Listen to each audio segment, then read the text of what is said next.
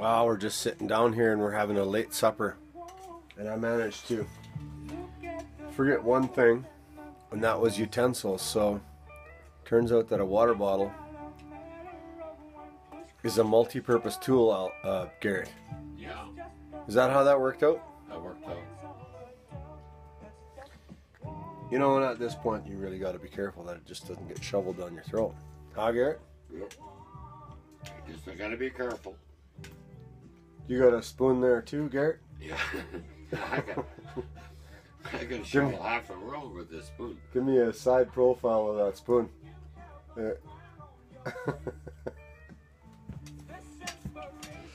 All right. Good night.